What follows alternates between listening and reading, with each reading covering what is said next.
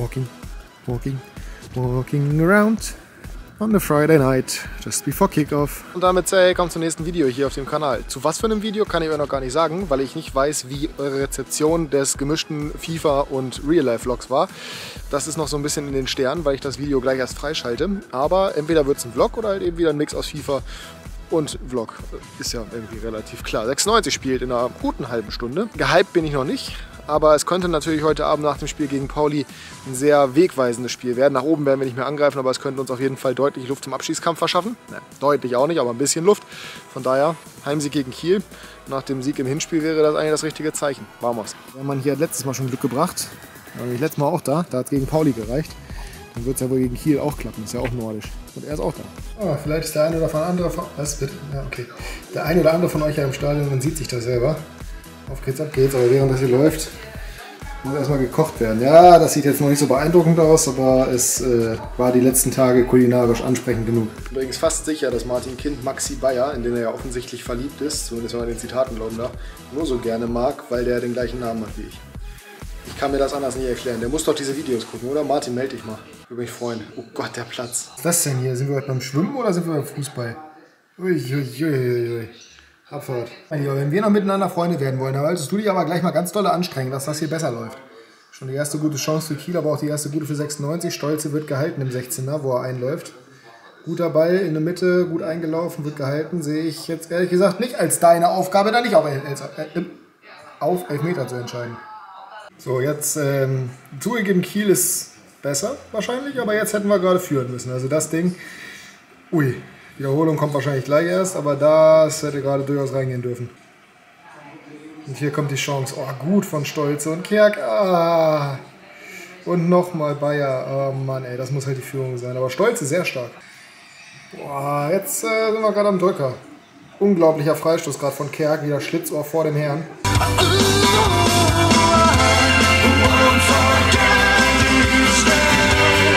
Komische Perspektive, ne? Ich bin irgendwie two-faced gerade. Aber Heimsieg 2 zu 0. Video kam schon, habt ihr schon gesehen. Das Ganze hier kommt ein bisschen später.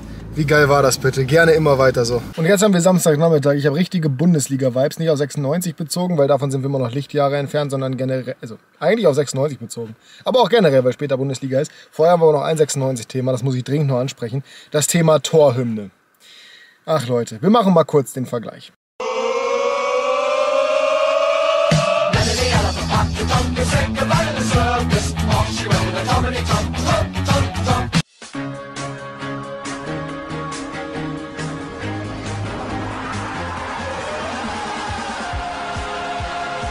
Gutes Licht wieder, aber ich bin der Meinung, die ist überholt.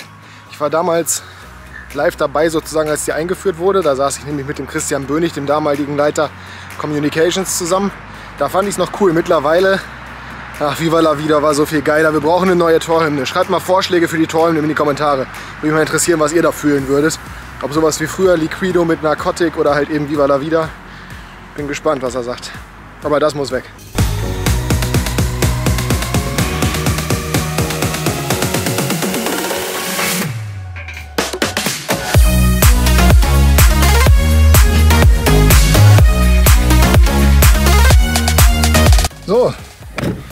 Ihr habt gesehen, ich habe Einwürfe geübt für wann auch immer.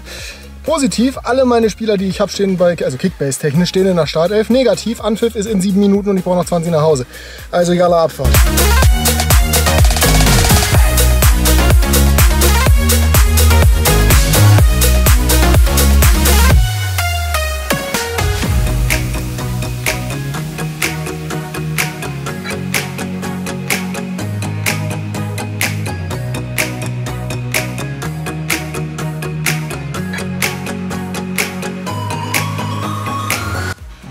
Rote Karte für Brentford. Das ist ganz eminent wichtig für Newcastle. Die können sich heute richtig befreien.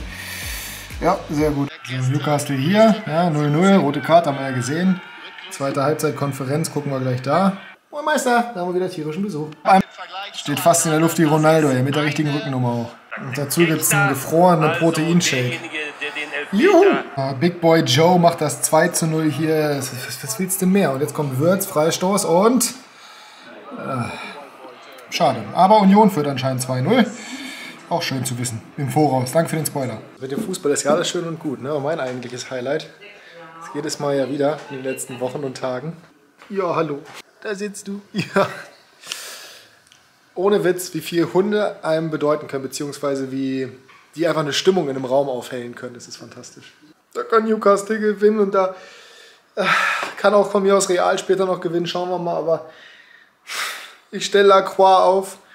Der kriegt eine rote Karte. Ich stelle Player nicht auf, sondern Modest. Player macht zwei Vorlagen und 278 Kickbase-Punkte. Ich stelle Upa nicht auf. Guerrero auch nicht. Mal sehen, ob der morgen spielt. Aber Upa steht in der Startelf. Das kannst du dir alles nicht ausdenken. So viel Entscheidungspech dieses Wochenende. Meine Güte. Oh. Wieder Hybridlösung hier. Bayern auf meinem Bildschirm. Topspiel heute Abend hier. 0-0 aktuell noch. Und Real auf einem ganz kleinen Bildschirm. Auch 0-0 noch. Komm, Vicky, zeig mal was. Und es wird nebenbei gekocht. Naja, es wird Salat geschnippelt. Bisher ist das noch nicht so richtig beeindruckend, muss man sagen. Mal sehen, ob das noch kommt. Ja, das wird langsam besser.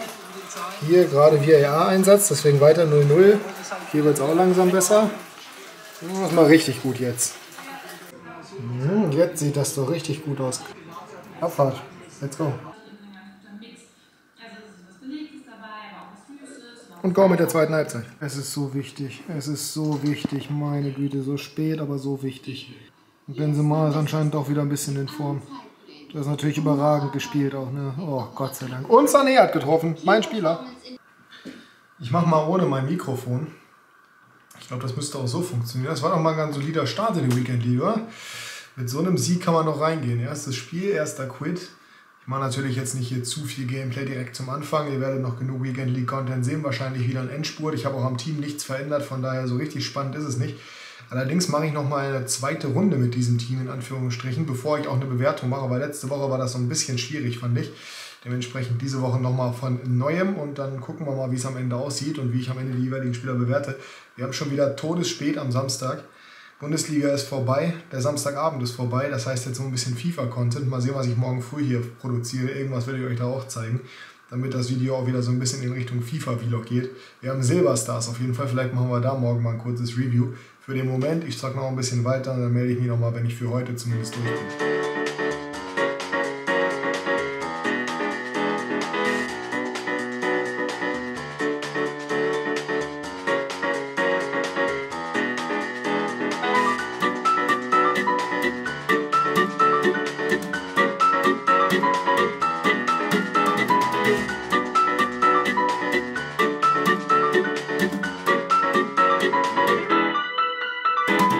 Bin mir noch nicht ganz sicher, wie ich das jetzt mache, weil ich habe es nicht aufgenommen, aber ich habe also das war wirklich, das war fantastisch, das Tor. Ich blende euch jetzt hier mal ein. Ich habe gerade das 7 zu 1 gemacht, also steht 7 zu 1.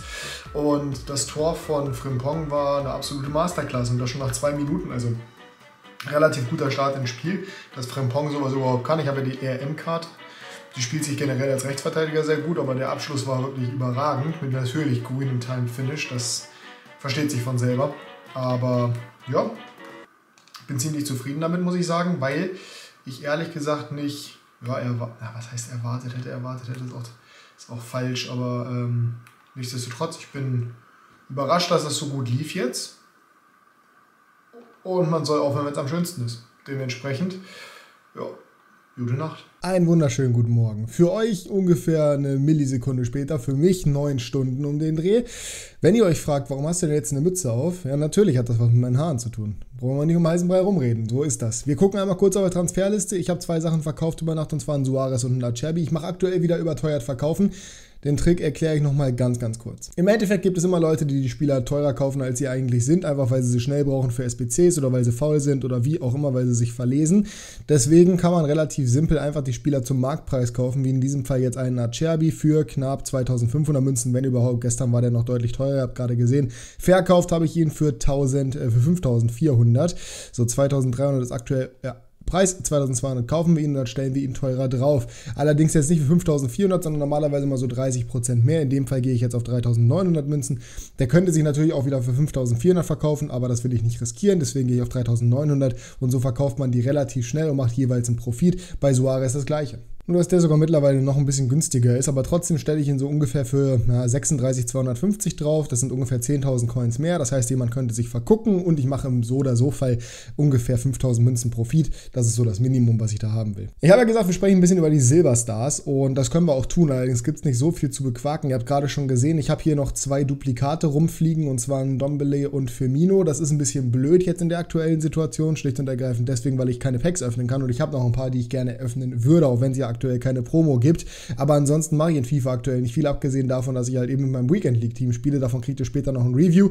Ich stehe jetzt übrigens 9 zu 1, also ich habe noch zwei Spiele gemacht gestern, sieht sehr, sehr gut aus. Werde natürlich heute weiterspielen. Heute Abend wird es wieder einen Endspurt geben, den ihr dann auch sehen werdet.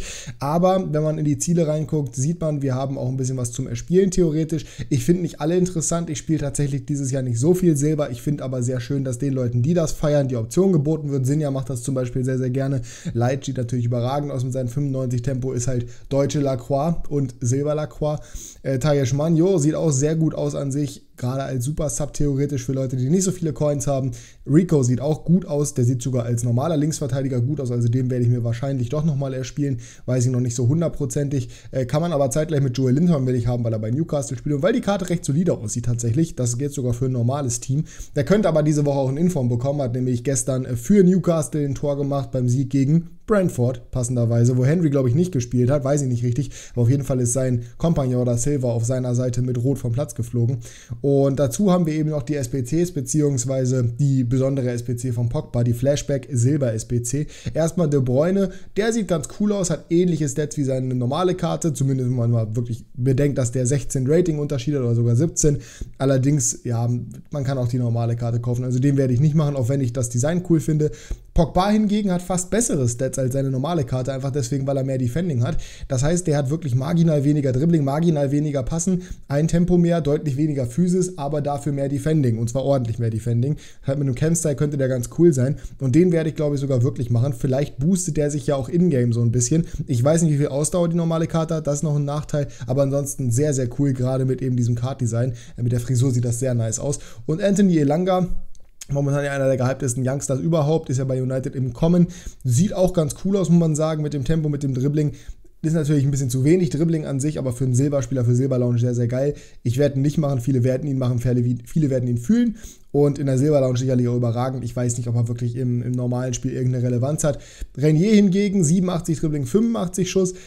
Zugegebenermaßen mit 90 Tempo jetzt nicht so schnell wie Elanga, aber ansonsten sieht die Karte sehr, sehr stark aus. Hatte ja bereits vor zwei Jahren, glaube ich, mal so eine ähnliche Special Card. Also die kann man, finde ich, auch mitnehmen, gerade wenn man in der Bundesliga nochmal eine brasilianische Alternative braucht, gegebenenfalls auch fürs Teambuilding. Also ich glaube, wenn ich zwei machen werde, dann den Renier und äh, Paul Pogba. Wir gucken mal ganz kurz rein, was man für die beiden benötigt. Einmal 83er Bewertung und einen Franzosen und für Renier ist es, glaube ich, auch eine 83er Bewertung. So ist es und ein Brasilianer. Also wirklich machbare Anforderungen. Ich war warte aber auf irgendwas verzweifelt, wofür ich dann meinen Dembele eintauschen kann und meinen Firmino, die ich doppelt habe. Zugegeben, ich habe auch noch einen abgestoßenen Inform Dembele, den ich wieder herstellen möchte.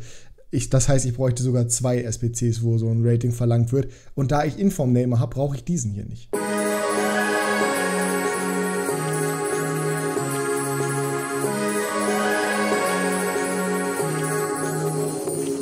Like a light lighting up in the dark. You make it right. I forgot how to act. It's so classic. Every Möchte ich darüber sprechen, dass Nkunku nicht in der Startelf steht? Ich glaube tatsächlich eher nicht, aber dafür wenigstens so Schlei. Jetzt müssen die Jungs auch nur was machen. Auch wenn ich ja per se erstmal sage, Bochum zu Hause ein sehr schwerer Gegner.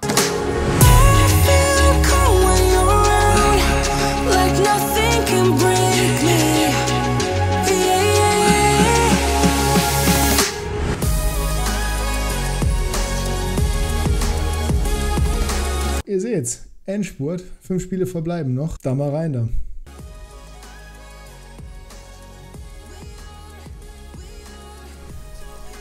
Das ist genau das, was wir jetzt gerade brauchen.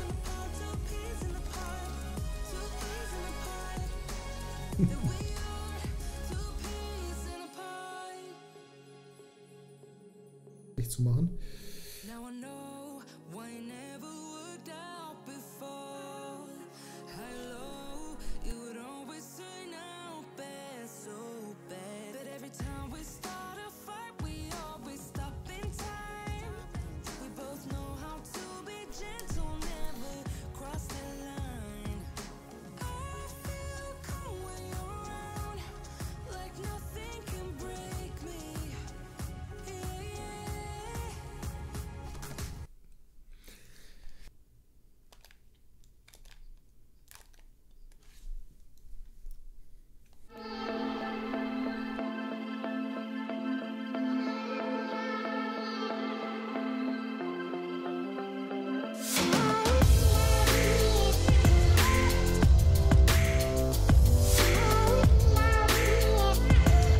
Ich weiß sowieso meine Schwächen in FIFA.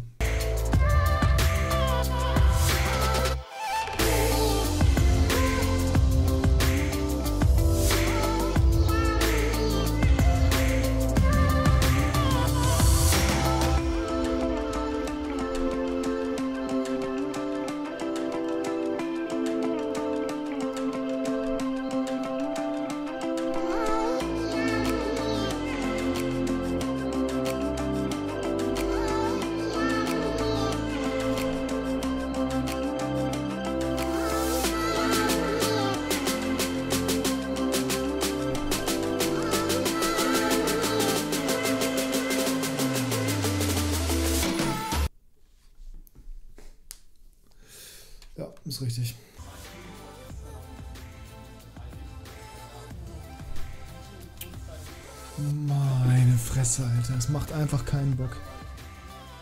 Oh, diese Server sind so bodenlos, Alter. Ich habe schon viermal Pass gedrückt. Meine Güte noch. Ja, ach komm.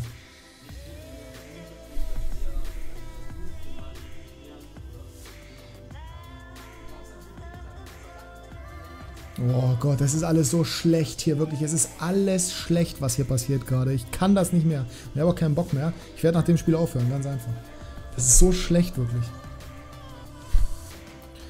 Ich habe übrigens meine Taktik auf Pressing, auf stetiges Pressing. Das ist das, was bei meinem Team dabei rumkommt.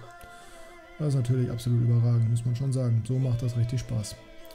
Ey, auch jeder Abpraller ist bei ey, wirklich. Nee, komm, das ist alles. Tschüss. Wir müssen übrigens nicht darüber reden, dass ich äh, gechoked habe dann, ne? Also 13 zu 7. Die Pillar Picks waren trotzdem sehr gut, kann man sie nicht beklagen, aber das hat mich gestern Abend gebrochen. Dank der Server, die letzten sieben Spiele, ich glaube fünf verloren und von den letzten fünf entweder drei oder vier. Das äh, war nicht geil. Ich muss auch einfach lernen, dann zu Ende zu spielen, wenn die Server gut sind, und zwar samstags und nicht mal auf Sonntag auf Krampf zu warten, weil das ist nur kontraproduktiv. Ich weiß nicht, warum ich das mache. Mittwoch, Match Day. Es ist soweit, 96 gegen Leipzig, 15.43 Uhr, in knapp drei Stunden ist Anpfiff. You ready? I'm ready. Letzter Part dieses Videos. Ich bin so gespannt, wie das laufen wird. Vamos. Aufstellung ist da, Zieler im Tor, Bayer Sturmspitze anscheinend, ja, Kaiser Startelf, Dimas auch Startelf, Kerk Startelf und Dua auch. Also irgendwie eine komische Aufstellung, aber wird schon. Sieht nach einem 4-3-1-2 aus irgendwie oder 4-3-3, keine Ahnung. Aber Maxi Bayer in der Sturmspitze, der regelt das. Abfahrt. Mit meiner wieder mit dabei, auch wichtig. Auch Pokalheld gegen Gladbach gewesen. Hannover 96. Das sieht nicht gut aus. Das sieht gar nicht gut aus. Das sieht völlig in Ordnung aus. Alles gut, alles gut, all gut, kein Problem. Ja, alles gut. Ich höre gute Stimmung im Stadion. 25.000 ausverkauftes Haus, so gehört sich das. Also ausverkauft im Rahmen der Möglichkeiten natürlich. Auf geht's, Anrufen. Die Schale suggeriert es übrigens. Aber ich muss euch leider etwas Trauriges mitteilen. Ich habe es nicht bewerkstelligt bekommen, dass Sunny, also der Hund, auch heute mit dabei ist, live während der Partie. Er war heute hier. Ich hoffe, dass er seinen Spirit noch ja, auf das Spiel auswirken kann, aber er ist auf jeden Fall jetzt gerade nicht da.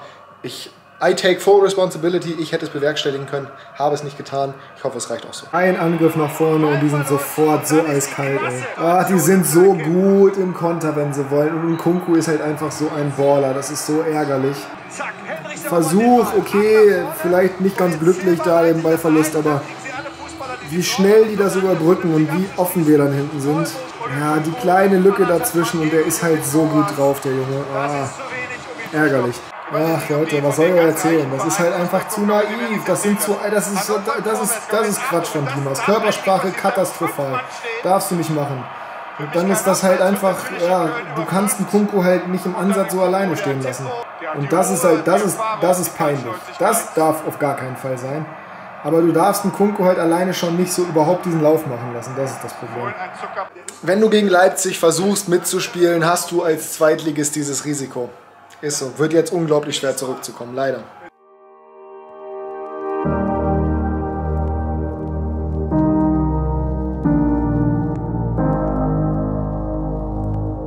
Ja, und damit ist dieser Vlog vorbei. Es sieht jetzt anders aus als normalerweise, aber man kann auch nicht erkennen, wie kurz meine Haare im Vergleich zu vorher wirklich noch sind. Ich habe gerade schon gesagt, das seht ihr dann im nächsten Vlog, es ist Inception. Ich drehe den nächsten Vlog schon, jetzt mal nur das Outro von diesem Vlog. Es ist komplett wild. Ich hoffe, euch hat es gefallen. Wenn ihr lasst einen Daumen nach oben da. Es ist jetzt alles ein bisschen schon her. Es hat sich ein bisschen verzögert, auch aufgrund dessen, dass ich ja ein bisschen außer Rand und Band war, beziehungsweise ausgenockt war am Wochenende. Ich konnte nicht schneiden, es hat sich alles gezogen, aber ich hoffe trotzdem, dass das Ganze noch ansatzweise für euch gepasst hat und bedanke mich fürs Zuschauen. Wenn es euch gefallen hat, lasst mir einen Daumen nach oben da. Wir sehen uns beim nächsten Mal wieder und bis dahin wünsche ich euch einen schönen Tag. Lasst es euch gut gehen, bleibt gesund. Passt auf euch auf, macht's gut, haut rein. Und ciao.